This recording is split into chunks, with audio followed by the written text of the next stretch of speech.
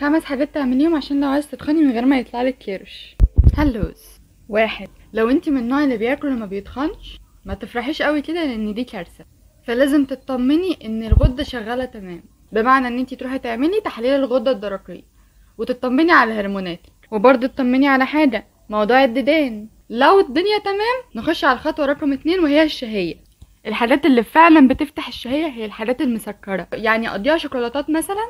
لا ما ده هيعمل لك كرش. طب آكل إيه مسكر؟ عندك أي نوع فاكهة تحبيه؟ الحلاوة المربى العيش بيفتح الشهية مش بيشبع لا. وفي حاجات بتاكلي منها كتير كمسليات بس سعراتها الحرارية عالية عالية جدا. أكبر مثال المكسرات فستق كاجو لب بندق مش عارف إيه حاجة كده. بس عيبها حاجة بسيطة إنها بتطلع حبوب لبعض الناس. ما تقفوريش منها قوي. ما تاكليهاش كل يوم. في مشروبات حلوة ويقال انها بتطخن الكاكاو الحلبة السحلب بما إننا في شتاء ومتكتكين وبتاع هتنفع. كل ده بيتاخد بين الوجبات كتسلية كده. وده يعتبر تكملة لنقطة رقم ثلاثة إن انت هتاكلي خمس وجبات في اليوم.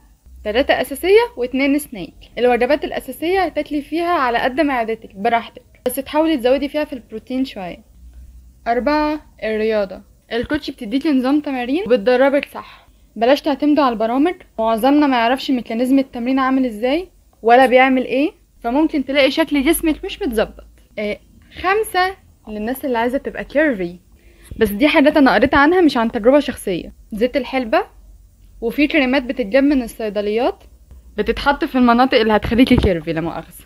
في ناس جربتها وبيقولوا إنها بتساعد جدا. وطبعا مش هتجيب نتيجة فعالة من غير النظام الغذائي الصح. ومن غير ما تزودي السعرات الحرارية بتاعتك. بس كده.